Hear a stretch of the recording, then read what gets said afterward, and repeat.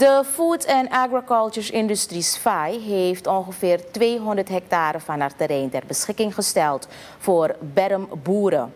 Dit gebaar moet hen helpen aan wat meer bestaanszekerheid. Minister Siudin van Landbouw, Veeteelt en Visserij zei dat de grond nu gereed wordt gemaakt, zodat de boeren aan de slag kunnen. Het terrein zal opgedeeld worden in kavels van een halve tot anderhalve hectare waar de bermboeren hun gewassen kunnen planten. Met machines van het ministerie wordt nu gewerkt aan de wegen van dit groot terrein en worden de kavels aan elkaar verbonden. Volgens de bewindsman wordt rekening gehouden met een ieder die wilt ondernemen. Zo wil de regering voorkomen dat mensen op bermen gaan planten.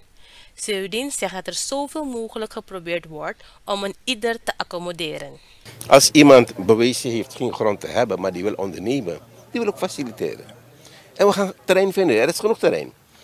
Toen ik in het begin zei van er is 200 hectare beschikbaar, keek iedereen rond van maar waar? Maar er is nog genoeg. Kijk maar naar het gebied Waterloo, Hazard, Dursley. Daar ligt er genoeg terrein wat, welke nog niet gebruikt wordt.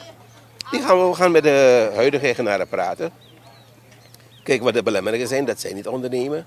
En als zij niet ondernemen, dan gaan wij ook met hun onderhandelen even luisteren. Maar wij hebben het nodig als gemeenschap laten we een regeling treffen met elkaar. Weet je, dus al die dingen zijn mogelijk. We zijn niet, en uh, geen mensen van om mensen met dwang te verwijderen van, van, van hun terrein. Ze hebben ook geïnvesteerd. Laten we kijken van hoe we kunnen, kunnen, kunnen, kunnen compenseren. En, uh, maar het moet goed komen. We hebben iedereen nodig bij het geheel. De boeren die in aanmerking komen voor een stukje grond op het terrein van FAI zijn al geregistreerd. Wanneer de kavels gereed zijn, zal weer een loting plaatsvinden om te bepalen welke deel door een boer beplant zal worden. Het proces om de kavels ready te maken moet voor eind van dit jaar afgerond zijn.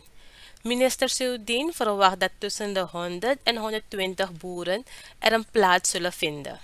Hij houdt rekening mee dat deze groep mogelijk zal groeien. Laat me eerste fase bekijken. Uh, met die 120 boeren, hoe ver zijn we gekomen? Hoeveel terrein is er nog over? Als er nog meer gegadigden zijn die willen produceren. Want wat bij, ons om gaat is, als je niet produceert, ga je eruit. Je gaat niet speculeren. Dat is het voordeel van dit model. Je organiseert je in een coöperatie. En we stellen die gronden ter beschikking aan die coöperatie. Ten behoeve van die boer. En uh, als zo iemand... uh, nou, als hij wil speculeren, gaat het niet kunnen. Eh, dus dan moet hij zijn terrein gewoon inleveren bij die coöperatie. En dan geef het aan iemand anders die het wel kan gebruiken. Het streven is volgens de minister dat meer efficiëntie wordt toegepast in gebruik van de beschikbare gronden.